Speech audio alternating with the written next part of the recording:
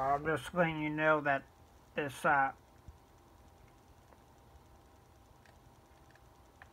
this 1400 RAM, sorry, this 12 800 RAM is doing a lot better than the other one.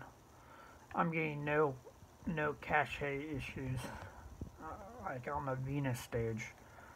It's it's smooth as butter basically. It's as it's as smooth as the PS4. Very impressive. I definitely recommend upgrading your RAM.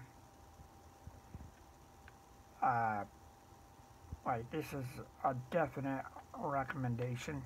If you can, if you know computers, if you know how to, you know, stop services and stop updates, uh, definitely just if your computer's really up to date, not up to date, and you don't have time to, like maybe you game every weekend or something, you don't have time to game heavily um, I would just, you know, just get a new, uh, get some more RAM on your old outdated PC, you know, and look at the results. It's just liquid smooth. Get some higher megahertz on the RAM.